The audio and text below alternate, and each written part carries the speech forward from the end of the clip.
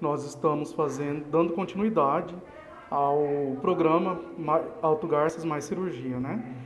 Então a empresa está vindo e vai fazer a avaliação individual de cada pessoa que trouxe até a Secretaria de Saúde o pedido da armação e do óculos é, para poder usar no dia a dia. Quantas pessoas vão ser atendidas? Serão atendidas 130 pessoas. Agora é sempre importante a gente deixar claro esse cuidado da Secretaria de Saúde em trazer profissionais para trazer melhor em saúde aqui para a nossa sociedade, né, Secretaria? Sim, sim, nós estamos fazendo o possível, né, para estar tá fazendo esse atendimento no, dentro do nosso município.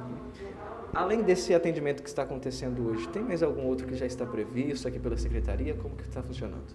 Nós temos a intenção de estar tá trazendo o atendimento com a neuropediatra, é, cardiologista, ortopedista.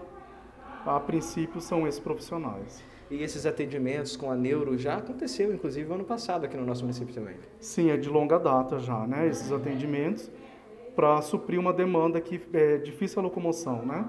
São pessoas acamadas ou que têm alguma síndrome para estar tá levando até Rondonópolis ou Cuiabá. Então nós vamos dar sempre preferência pela comodidade, né? Uhum. E fica dentro do nosso município mesmo. Agora, secretário, é importante a gente deixar claro para a sociedade também, aquelas pessoas que precisam de algum tipo desse atendimento, tem que procurar o seu PSF para depois fazer o encaminhamento. Isso é todo um procedimento. Né?